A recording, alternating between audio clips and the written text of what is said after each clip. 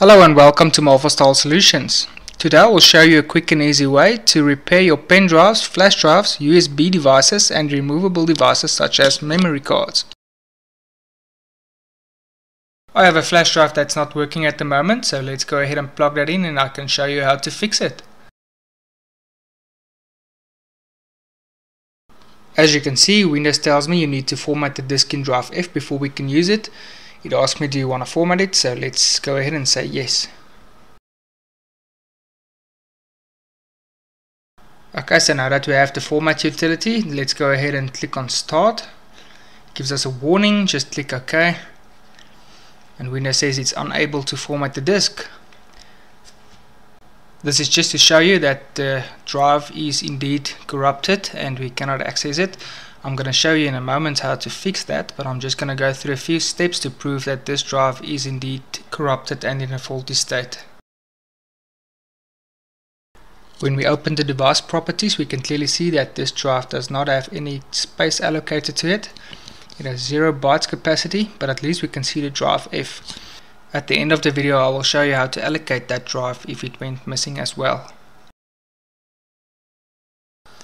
Okay, so next I'm going to show you that formatting the drive with command prompt doesn't work either.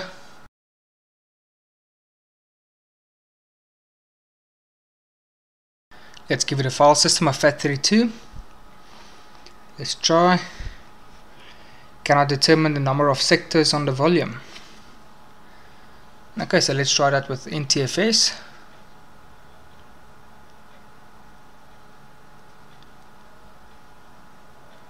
No, same thing. Okay, that's enough testing for now, so let's go ahead and show you how to fix it. The first thing we need to do is download the MalvaStyle Repair Disk application. I will post the download link in the description below.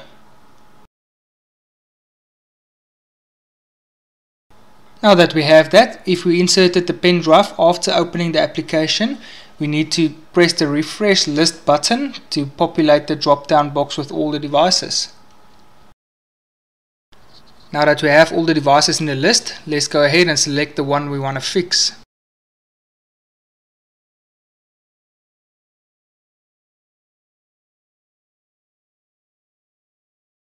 This is the most important step as selecting the wrong device may result in losing your data when you press the repair device button. I will go ahead and select the verbatim USB device as this is the one I want to repair.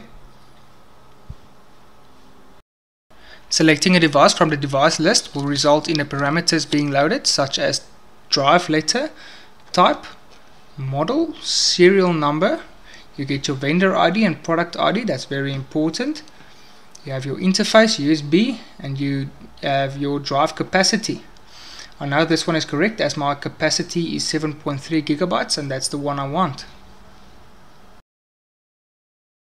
I will explain this in a moment but the get device software and software dictionary options is not needed for most users and can be left alone. What we need to do is make sure we have the correct device selected and then press the repair device button.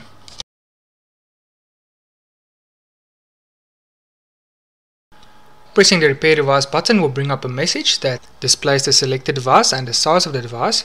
We need to click OK to begin the procedure. Now all we need to do is sit back, relax and watch the magic happen. As you can see the repair process is very fast. Almost immediately the Windows Autoplay launches and the size allocated to our disk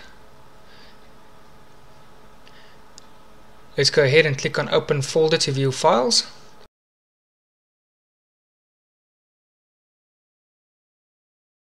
Just to be sure, let's create a new text file.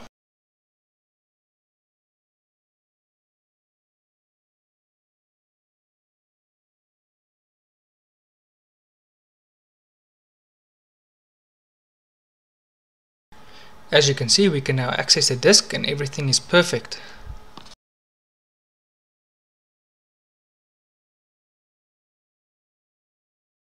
All the factory settings is now restored and this is like a brand new disk drive.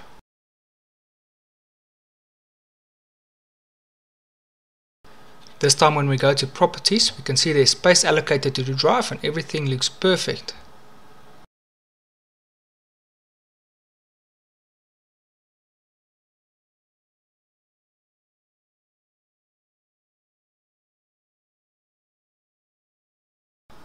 Like I said earlier, the Get Device software and software dictionary options is not needed for most users, but some hardware devices may require additional drivers and software. If you are indeed one of those unlucky winners, we've provided you with a way to get your device software easily. All you need to do is select your software dictionary. Any one of those two options will work. I prefer the flash boot option just select one and press the Get Device Software button. This application has a built-in web browser that will perform a search using your vendor ID and product ID of the removable media. You don't have to use this method, you can go directly to the manufacturer's site or use your own browser. This is just for convenience, but I will show you how it works. Okay, we've selected our dictionary, let's go ahead and press the button. An important note, ensure to look at the size, flash model and chip vendor columns before downloading. To go to the application again, simply press the back button. As you can see, we auto-populated the vendor ID and product ID and performed the search for you. This website address will also be in the description if you want to use your own browser. All that's left to do now is to look at the chip vendor and the size columns, scroll down and if there's a utility for it, download that.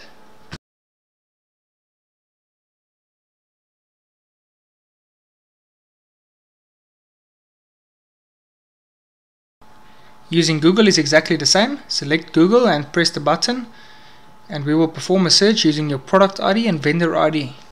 All you need to do is look at the chip vendor and the size of the device and download your software.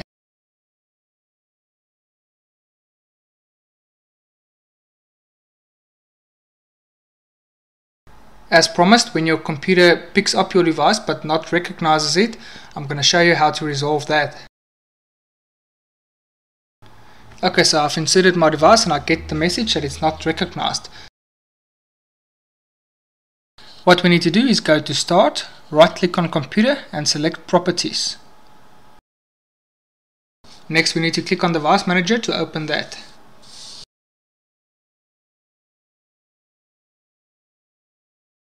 Normally your flash drive should be displayed under disk drives, but when it's not there you know something's wrong. Scroll down until you see Universal Serial Bus Controllers.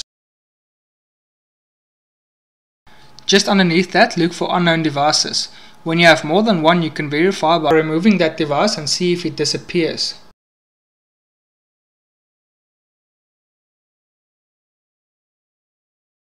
Plug the device back in, right click on it and select uninstall.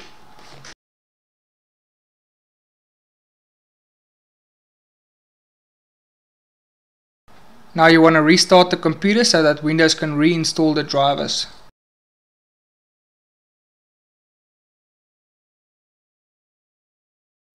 As always, thanks for watching. I hope you found this useful. Please comment below if you need any help or further assistance. Please subscribe to see more of our videos and any questions and topics are welcome.